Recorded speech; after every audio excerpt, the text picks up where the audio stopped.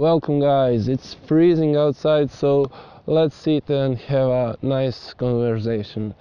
X-Tim Car Center made this video possible so big thanks to them and I hope that we will continue to cooperate in future.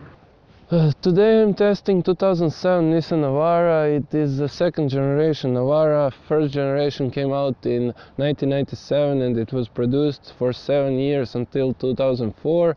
From 2004 2000 to 2014 this was produced and in 2010 Nissan uh, did a facelift of this model.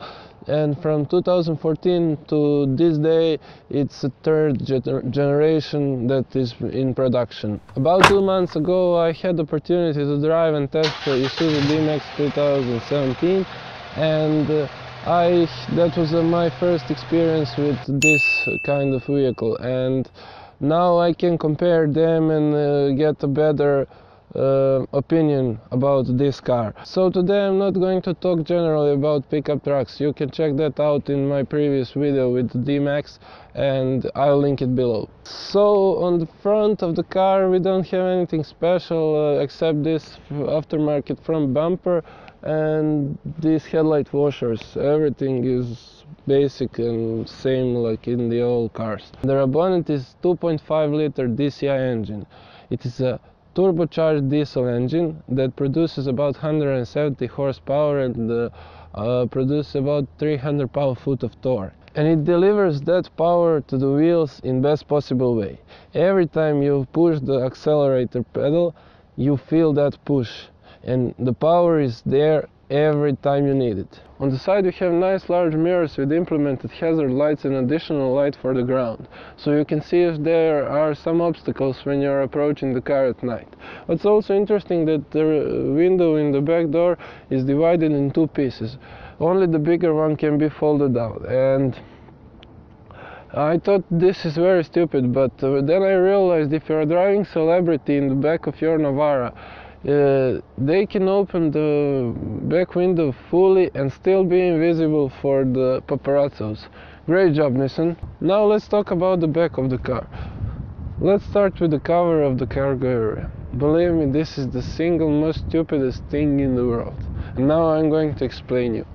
First, the visibility is terrible. Only thing you can see through this is the large building or a car that is 3 miles away from you.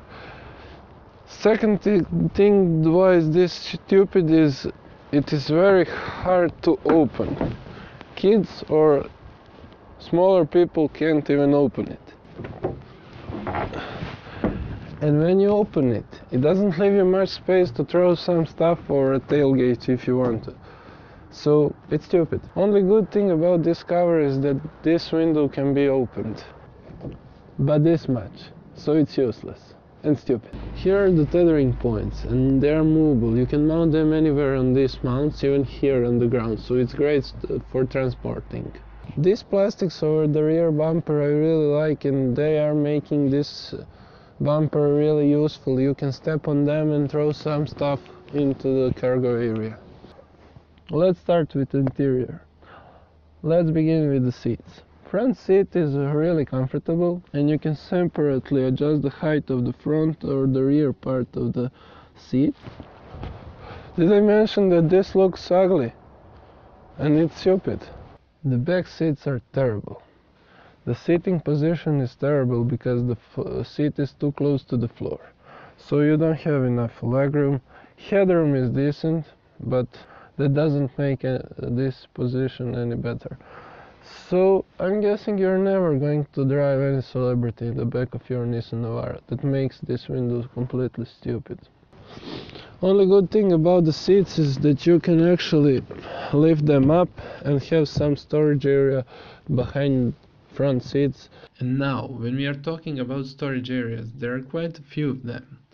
But that is usual thing in this type of vehicle. So the practicality is on very high level, like it should be. Stereo system is basic, it isn't anything special, it's just okay. It supports Bluetooth connectivity and that's it. Climate controls and the air conditioning system is kind of a little bit confusing, but when you figure it out, it's okay. And now I'm going to explain all of the buttons in the car. Here are the standard window controls, and this is the button to lock the windows. This first one is for very cold weather. When you start the car, press this button and it will bring the revs a bit up. Next one is for power operated mirrors, and the last one is for adjusting headlights. An interesting thing here on steering wheel as you probably have noticed most of the buttons are not labeled and I thought the build quality was bad and this is a 10 year old car so the paint fell off. But then I started playing with them and I found out that if you don't choose a cruise control as an option instead of getting flat panel on steering wheel, you get buttons for cruise control just unlabeled. This is a bit weird and unusual. Here in the middle we can select 4-wheel drive and 4-wheel drive with low range gears. Second button is for locking doors from inside and the last one is for rear differential lock for extreme situations. Now a few words about driving experience. Unfortunately my memory card got damaged and I have lost all driving footage from this and also my next review that I already filmed, so this will be a voiceover. In terms of city driving it is pretty hard because this car doesn't have a rear view camera or parking sensors, so try to avoid driving in the reverse. But this engine is surprisingly good. When you floor it, it gives you a decent push in the back, and I really like that. These 170 horses are ready for you whenever you want to play with them. So this car can offer you a lot of fun on the road and even more off the road. Driving position is great. Like in other large off-road vehicles, that feeling of driving this large truck is so satisfying and the power you have is just incredible. As you already know, these type of cars are made to work and help us in our jobs. But I just love how they switch their personality and in couple of moments become an awesome looking city cars. Jack it up.